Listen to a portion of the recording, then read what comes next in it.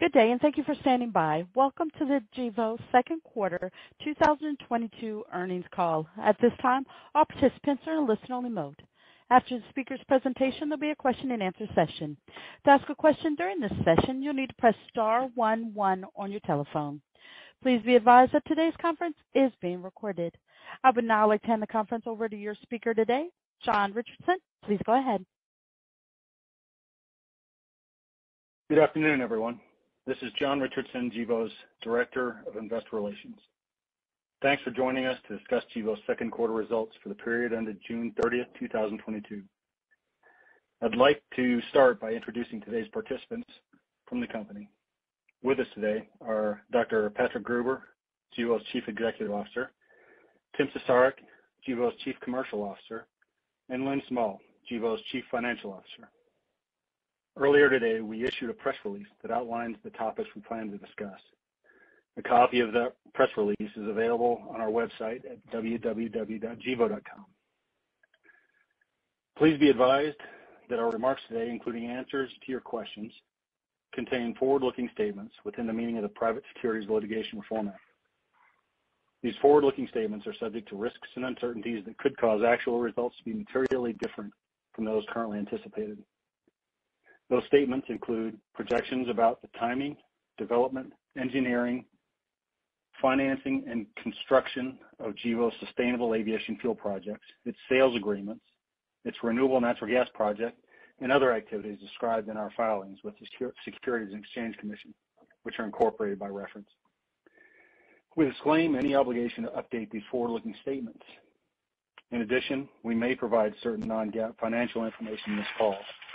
The relevant definitions and GAAP reconciliations may be found in our earnings release and 10-Q, which can be found on our website at www.gevo.com in the Investor Relations section. Following the prepared remarks, time permitting, we'll open the call to your questions.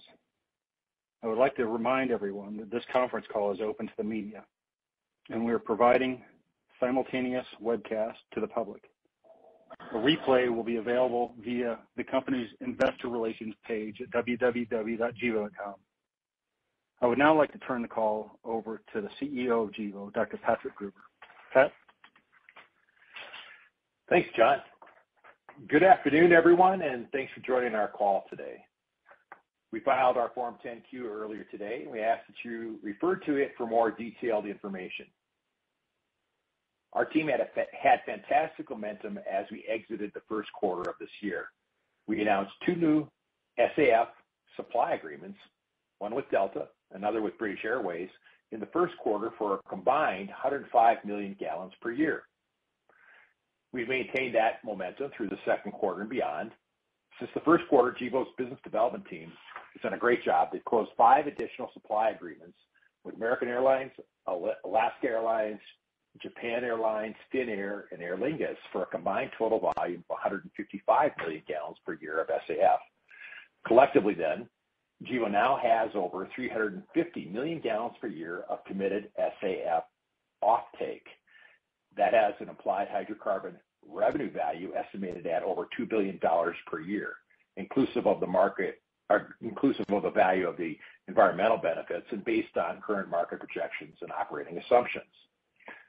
Now, that brings us meaningfully closer to our production goal and sales goal of 1 billion gallons per year of 2030. It's tremendous progress. I'm proud of our team. And what's even better is they're take-or-pay agreements, and that helps us.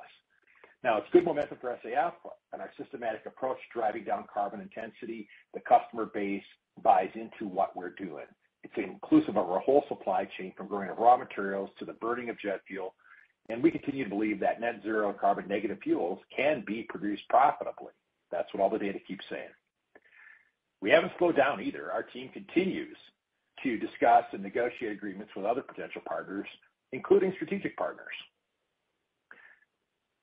We are very pleased with our Northwest Iowa RNG project. All three of our dairy partners uh, and the digesters are now producing biogas, and that gas is being sent to the upgrading unit and injected into the sales pipeline, where the sales are managed by BP. Over the next several months, gas quality production data will be gathered for Gevo's application to CARB so that we can apply for LCFS and maximize the value to Gevo in those gas streams, with those gas streams. I look forward to being able to report meaningful revenue and the associated profit for that project in the near future. Our team has done a great job working through startup issues. Everything's working. So it is very, very good. Uh, and to remind people, this is a 355,000 uh, million BTU nameplate capacity. It's the fifth largest dairy project ever constructed, and it is doing really well. Our Net-Zero 1 project in Lake Preston, South Dakota, which is being designed to produce 62 million gallons a year of low carbon fuels, 55 million gallons will be sustainable aviation fuel. That remains on schedule to deliver its first volumes in 2025. The FEL3 work is expected to be done around year-end, but we already have enough data to move forward on the build-out, and we expect to stay on schedule. As we announced last month, Gevo closed land purchase for approximately 245 acres in Lake Preston, uh, where the NZ1 plant is gonna be built, and we have planned a groundbreaking ceremony for next month to kick off the initial site work phase. We expect to be ordering long lead equipment in the fourth quarter of 2022. We are doing everything we can to stick to our schedule. We're monitoring the supply chain issues and attempting to mitigate any that we find as they arise. NZ1 is happening. I expect this NZ1 plant to be really quite something. It's gonna show the world what's possible. It's gonna show that sustainably produced raw materials can be converted into SAF with energy-efficient production processes. We can displace the fossil-based energy, that's the electricity and the heat sources, get rid of the methane from fossil-based, and swap them out with renewable energy and make it all profitable to produce our jet fuel. We continue to evaluate additional plant locations as we map out the path forward beyond Net-Zero 1. Tim's done such a good job selling stuff that we have so much so many gallons that we've got to really plan these out and uh, get on with it. Remember, we have over 350 million gallons per year of SAF to deliver beginning over the next few years, and then multiple plants are gonna be required to satisfy those contracts. We expect that the take-or-pay or otherwise financeable agreements that we have, they will assist us in securing debt and equity for our projects. Our team has done a great job, and our customers have done a great job cooperating with us to make sure that uh, it all works. We've discussed previously for future production projects, both greenfield sites and existing ethanol plants. Uh, they'll both be likely in the mix for us as we go forth in our build-out strategy. Our focus continues to be on locations with stable, low-cost feedstocks that are CI score advantaged. And a large part of the footprint from traditional production facilities comes from, uh, you know, where'd you get that electricity? Where'd you get that gas? Uh, it's because you don't want the fossil stuff, you want something else. And so a large part of our effort is around opportunities to defossilize energy sources to drive the production facilities. Got to substitute out electricity, got to do something about heat sources. And of course, you have to also choose uh, states and local governments that are business-friendly and support the overall goals. We have been achieving our Net-Zero 1 development milestones that we identified in our update in June, and it's happening on our timeline that we had planned. We will begin ordering the long lead equipment over the next few months, and we expect to uh, close our DBOOM contracts for wind power, green hydrogen uh, that we need uh, for the energy sources up at our NZ1 plant. In June, we issued shares of common stock in order to strengthen our balance sheet in advance of what we believe will be a challenging financial markets over the next two years.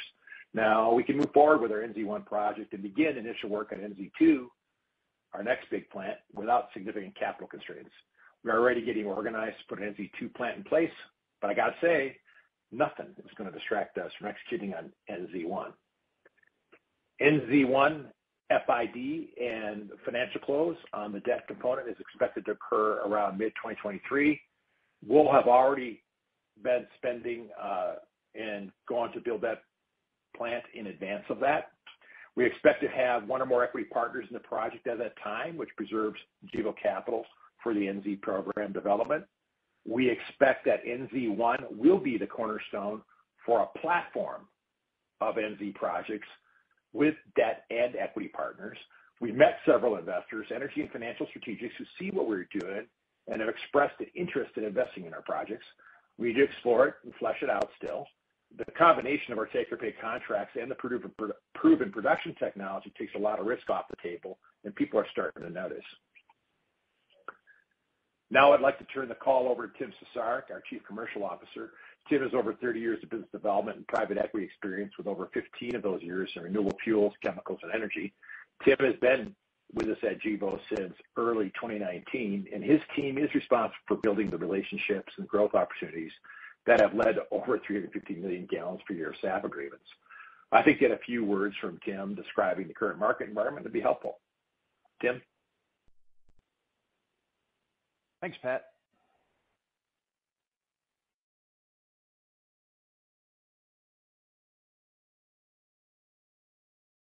First of all, I'd like to thank all the airline and trading companies that have joined our crusade for their continued confidence in Gevo's capability and vision. The importance of sustainable agriculture to the production of both nutrition and ultra-low carbon sustainable aviation fuel and transportation fuels has been acknowledged by these companies through their multi-year commitments to Gevo. We continue to see demand for low carbon SAF exceeding supply for the next decade and beyond by as much as a factor of 12 times. Based on what we're seeing, we believe the SAF market size is 10 billion-30 billion gallons over the next two decades. On the supply side, currently announced SAF projects total approximately 2.4 billion gallons globally. Gevo's goal of 1 billion gallons of fuel production by 2030 should be easily absorbed by the level of demand that is expected. While not distracting from our ethanol-to-jet production build-out, it's important to note that we continue to consider ways to progress our isobutanol platform to supply low carbon renewable gasoline blend stocks and SAF.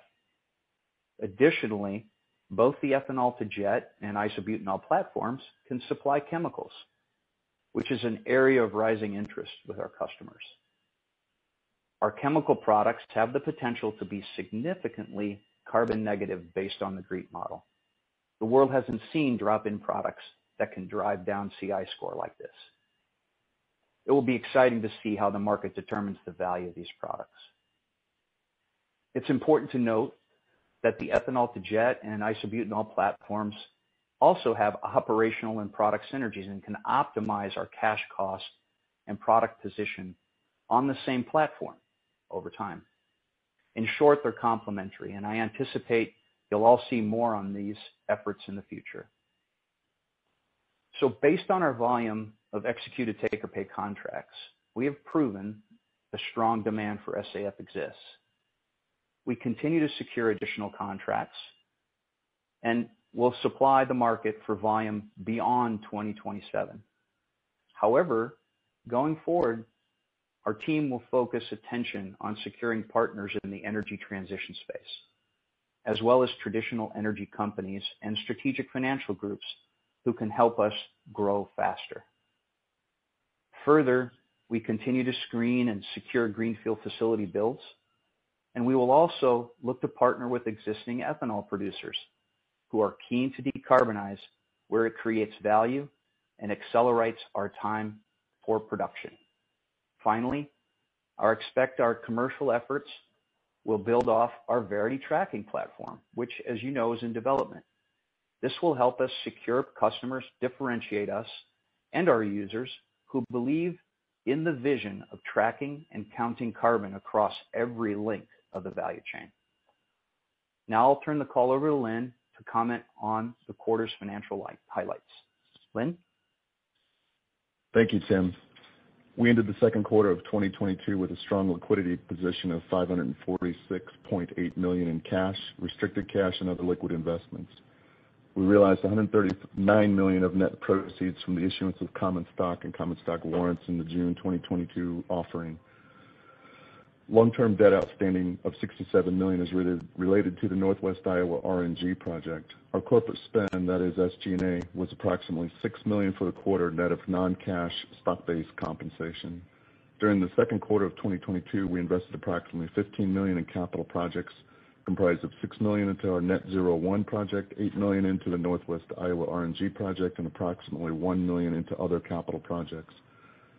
Construction on our Northwest Iowa project is complete, and it is being placed into service in Q3. Depreciation will start flowing through the income statement at that point. We continue the development and finance efforts around Net-Zero 1. There is substantial interest from lenders in Net-Zero 1's project financing. The actual debt structuring and financing efforts will ramp up later this year to drive towards a debt close in 2023 after the project delivery contracts and final costs have been locked in. We're also engaged in discussions around equity partners in Net-Zero 1 and our Net-Zero program overall. We'd welcome an equity partner or partners to preserve our development capital for subsequent plants while still giving Gevo meaningful permanent project equity positions. I'd also note that the Senate-passed draft Inflation Reduction Act of 2022 is a positive development for Gevo, given both the SAF Blender's Tax Credit and the Clean Fuel Production Credit for SAF or CFPC were included for a total of five years. The CFPC would take effect for production in 2025. To qualify for this new tax credit, SAF producers must produce fuel with at least a 50% reduction in life cycle greenhouse gas emissions when compared to petroleum jet fuel. The SAF credit has an upside of $1.75 per gallon if a Net-Zero CI score is received. This is all very good for Net-Zero 1, as we expect our SAF will qualify for the CFPC incentive, and we could qualify for as much as a capped $1.75 a gallon if the EPA uses the Argonne GREET 3.0 model as its measurements tool, since we plan to be net zero under that model. Now I'll turn the call back to Pat. Thank you. Thanks, Lynn. Yeah, there's other good things in that bill as well. There's things like uh, the funding for overall greenhouse reduction programs to build out plants and capacity and things like that. Plus, they funded some of the DOE programs and the USDA Smart Agriculture. All those kind of things have potential to benefit us, so it's pretty exciting. Uh, thanks, Lynn. And operator, now please open up the call for Q&A. Thank you. As a reminder, to ask a question, you'll need to press star one one on your telephone. Please stand by while we uh, compile the Q&A roster.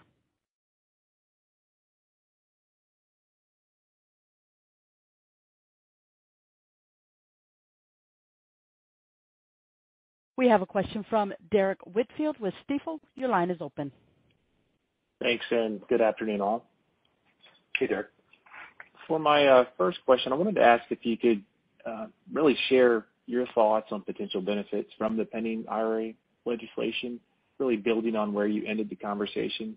Obviously, the SAF BTC is a positive, but it seems like there's also potential on the CCS and ITC elements that could benefit your your capital costs. Any thoughts you guys could share about those benefits and the payment mechanism will be greatly appreciated. Yeah. So the way the CCS will work for us is that there is one of the pipelines being built not too far away from us. We'll probably hook up to that. I would expect us to, and then it'll go on. Um and the deal that we'd make with that would, you know, so everyone understands we'd be capturing CO2 that comes off fermentation, so it's renewable carbon, and it would go into the pipeline, and it'd ultimately be Uh, geologically sequestered. Um, that improves our CI score along the way. And so it helps to add to the margins of our product. And how much it adds is dependent upon, you know, California LCFS, how uh, it'll be treated under RFS and all the rest. Plus then there's the Blender's Tax Credit that we just talked about. So those are things that'll be unfolding. If you use the Argonne GREET model, you'd wind up with carbon negative type CI scores. Carbon negative CI scores. There's nobody who's talking about fuels with carbon negative but us. And that's because we start with a net zero plan. If you add CCS to it, then it goes negative. That's a big deal. And that shows people what's possible here for the future. Um, the other things that are interesting in that bill are they funded the DOE programs. Good. Those are about energy transition. They funded the USDA Smart Climate stuff. That's awesome because this is about sustainable agriculture, bringing it in to the overall picture. One of the great tools that this country has available to it is capturing carbon in the soil. It requires that, you know, modern that people use modern uh, farming techniques like low-till and no-till with precision agriculture, monitor what's grown, measure carbon and things like that. But those are the kind of programs that are put forth in that bill, and that's a big deal. Um, the other thing that we see is going to be important is hydrogen stuff got funded, wind wind tax credits got funded. Those benefit us because we'll be building hydrogen. We're of course are working with Juhl Energies to build out the wind. Um, the biogas, I think, you know, there's some there's some stuff in there for that, but I think it'll be more important in the farm bill as that gets done uh, because it's related more towards the manure and how to build things there. So overall, there's lots of really interesting stuff in here. It's a question of, you know, is it going to get morphed up a little bit as it goes through the House, and then what's all what's all the uh, the language behind it mean? All those things will be interesting to see. But overall, it's like it's pretty encouraging, I'd say.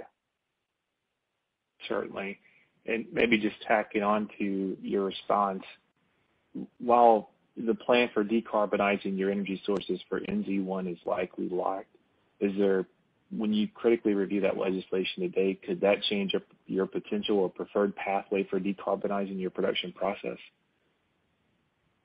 There's nothing in there that would change it like that. The the fundamental issue for all production plants, this is all ethanol guys, anyone who makes manufactures anything, is grid electricity is not green. That's just a simple fact of life.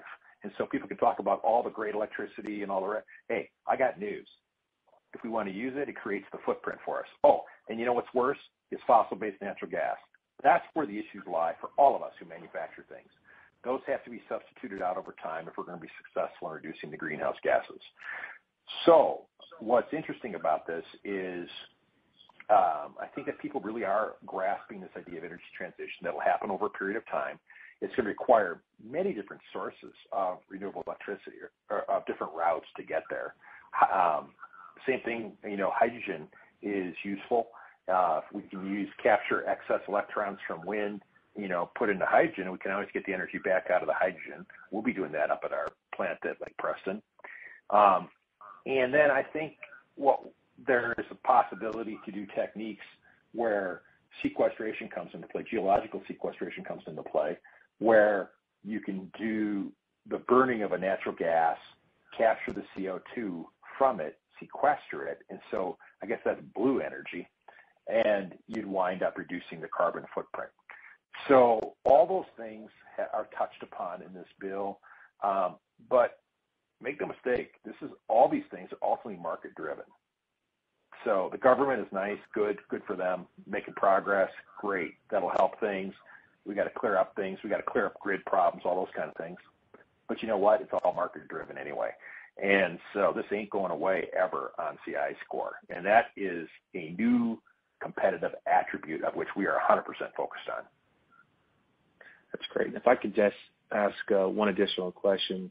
Regarding the chemical products you referred to in your prepared remarks, could you help frame or add some color around the market size and potential realizations for ultra-low carbon chemical products?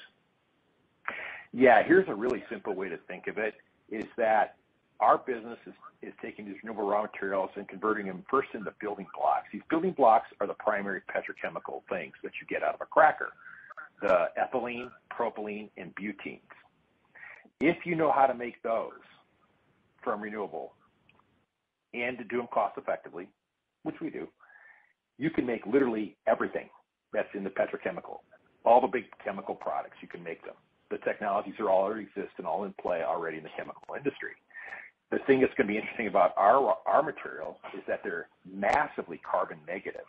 So think about that. If we burn, if we take in our manufacturing uh, sustainable aviation fuel and then it goes to a, jet plane and it burns, and we're measuring CO2 at the tail versus what the farmer took in of CO2 on the front, and we get to net zero, right? If it's sitting in that same fuel sitting in a tank, would be about a minus 100 CI score, fully sequestered carbon sitting there in a tank. Likewise with these chemical products. So it'd be possible to take and make massively carbon negative polyethylene, polypropylene, polyester, any of those things. So Think of all plastics, all large plastics. Think of all those things. All of those are then enabled. And it's not doing anything super special or fancy. It's just simply feeding them into the infrastructure of the chemical industry. That's all that has to happen. You don't need new production to go downstream and do the chemical products. It already exists. You just got to substitute the raw material.